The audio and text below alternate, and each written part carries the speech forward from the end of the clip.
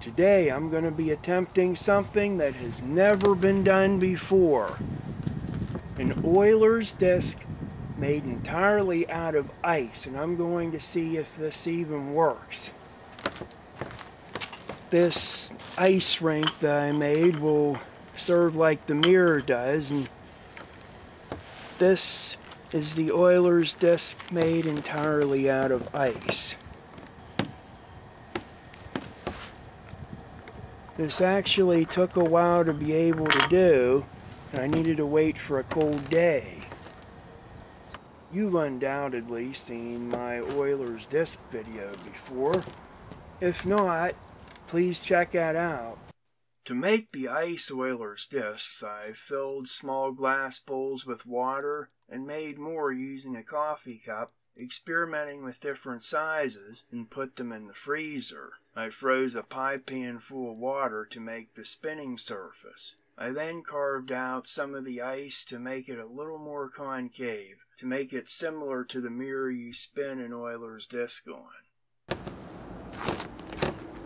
And now, for the first time in human history, an Euler's disc made entirely out of ice spinning on ice.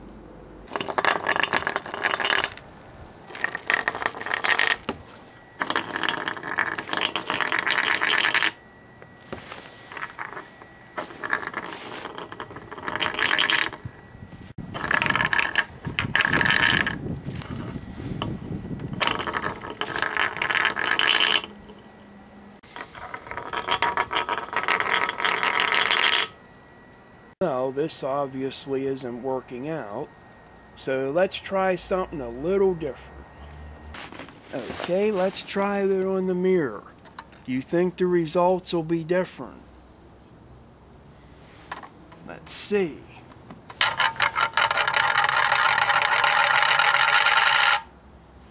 As you could tell, it spun a little bit better on that mirror, but still, there's a heavy limitation to how good of a spin you're going to get out of those discs. The biggest reason is they're a lot lighter than the regular Euler's disc.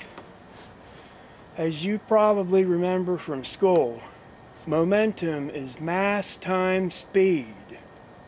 You're only going to be able to get so much inertia out of something when you spin it which means there's a limitation to how much inertia these discs are going to have.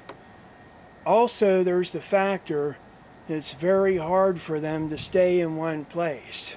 You notice they kept jumping off the mirror. So this was a really cool experiment, even if it didn't go quite as good as I was hoping. I knew it wouldn't spin as long as the regular discs, but I thought that it would spin twice as long on the mirror as it did and a little bit longer on the ice.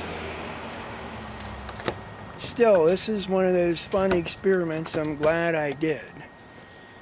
Thanks for watching this fun little experiment of mine. Feel free to suggest any other ones I could do. I love doing these types of experiments, doing things nobody else has done before. I love getting suggestions and I love trying out things nobody's ever thought to do before. So thank you so much for watching. I hope you enjoyed this and I hope you learned a little something from it, but it was a very cool experiment. Pun totally intended.